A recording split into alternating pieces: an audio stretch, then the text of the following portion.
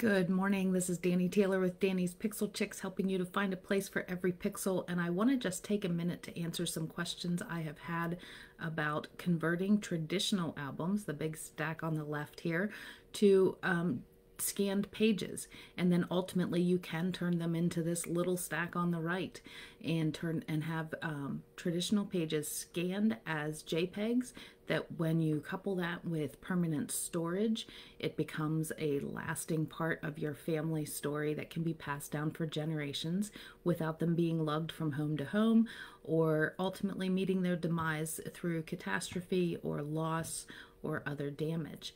So let's take a look at what some pages look like. Um, I can show you that we have the, we you can send your pages in with the page protectors on them and they will scan them that way, but you can see when I did that because I was in a rush and didn't think it really mattered, it takes away some of the depth of your traditional scrapbook page and if there are wrinkles in the page protectors, it will um, show on the scan. So here are a couple of examples where you can see those kinds of wrinkles. Um, over here on the left, you can see it going up through the picture of Chapin. Um, but when you look at the pages that were scanned without the page protectors on them, I removed them before sending these pages in. They are crisp and clear and have some of that depth that we give to our traditional album pages. I call it the three dimensionality of it. So you can see how much better they look when you take the page protectors off.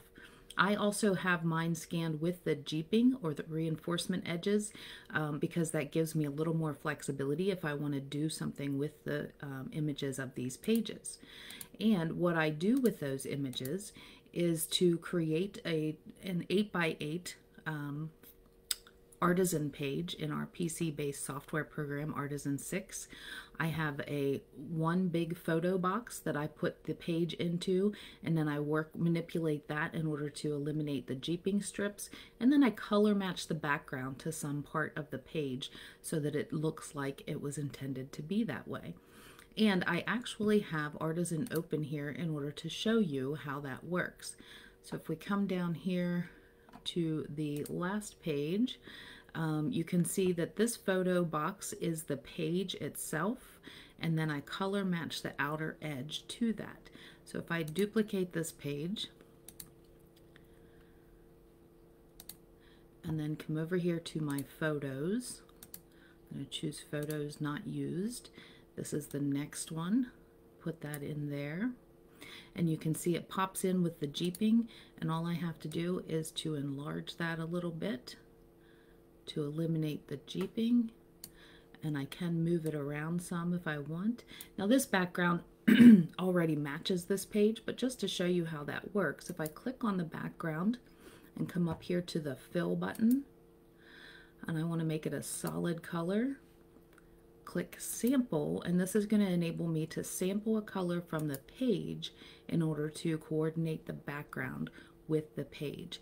So what I'm working on is to turn these 12 by 12 albums into 8 by 8 digital photo books um, that take less space that I can keep a copy when my kids move out and get to take their big albums with them and if they're not able to take the big albums, they not only have the digital images stored in their permanent forever storage, but they also have um, the option of having these books printed if I don't print them for them.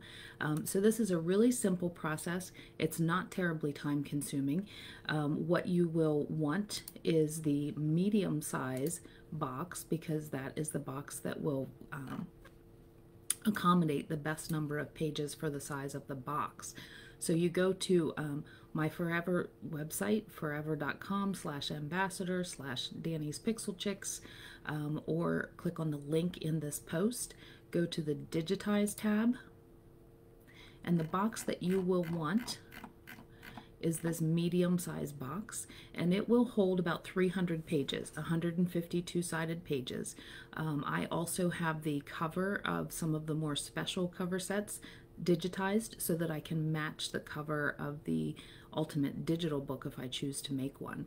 You don't have to turn to digital scrapbooking in order to do this. What you're doing is providing insurance for those lovingly created projects of yours and um, putting them into permanent storage so that should your traditional albums meet their demise in some way, you still have them. Or if you're in a position where you can't take them all with you because of the size, how cumbersome they are, or maybe you just can't hold them anymore because your hands get older um, and they become very unwieldy. Um, this is a great way to preserve them. And then if you want to turn them into smaller digital books, the Artisan 6 software um, enables you to do that very quickly and easily. The medium-sized box, again, holds about 300 pages or 150 pa pages, two-sided is, is what that will physically hold. And that amount of pages does exceed the prepaid credits, but you put fill the box up, send it in, and then we'll give you the overage to take care of before your box enters the queue. So if you have questions about this process or would like me to help you with it, I'd love to talk with you. I'm in the process of having all of my traditional albums digitized and when they come back, they're in order and I can put them right back into the albums they came out of. So I hope this was helpful for you to see how this process works. If you have questions, please reach out to me. This is Dani Taylor with Dani's Pixel Chix signing off and getting back to work. You have a beautiful day.